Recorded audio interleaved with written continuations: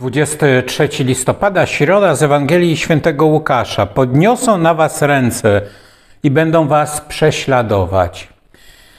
To prześladowanie trwa od momentu stworzenia Kościoła, od momentu, kiedy Chrystus ustanowił Kościół. Zobaczmy, pierwsi chrześcijanie, w ogóle apostołowie, wszyscy oprócz Jana zginęli śmiercią męczeńską.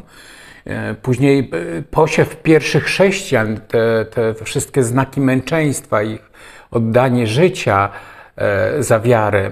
Mm, jakby, że musiała być mocna wiara, silna wiara, że przeszkadzała to wrogom Kościoła, wrogom Chrystusa, wrogom Ewangelii. To trwa do dziś. Zobaczmy, dzisiaj też się prześladuje Kościół. Dzisiaj na Tarczywie prześladuje się Pana Boga, na Tarczywie prześladuje się ludzi wierzących. Dlaczego? Bo wiara tych ludzi, bo wiara Kościoła jest tak silna, że cały czas pokazuje to, co najpiękniejsze, to, co dobre, to, co rzeczywiście trwałe, co wieczne, co przynosi piękne owoce. E, I świat tego nienawidzi. E, świat e, chce Cię bawić dzisiaj tym, co kruche, tym, co słabe, tym, co jest delikatne takie i tylko chwilowe, momentalne.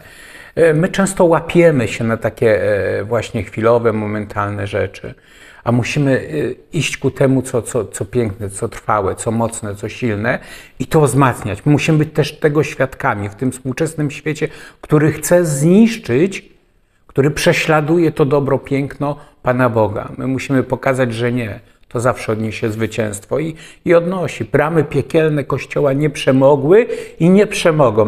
Nic się nie zmieni.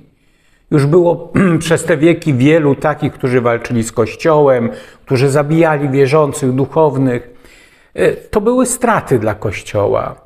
Dla Pana Boga były to rzeczy, może straty w takim fizycznym spojrzeniu też, co nie, bo, bo Kościół nic nie straci. Dzisiaj ma świętych męczenników przez wstawiennictwo, których może się modlić, są przykładem takiej wytrwałości życia.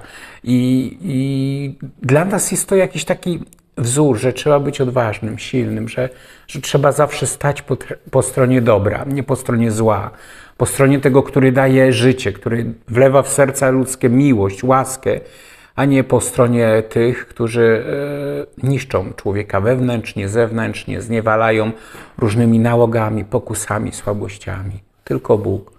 Bóg da nam siłę, da nam siłę przezwyciężenia tego, co złe w świecie. Serca Wam wszystkim błogosławię w imię Ojca i Syna i Ducha Świętego. Amen.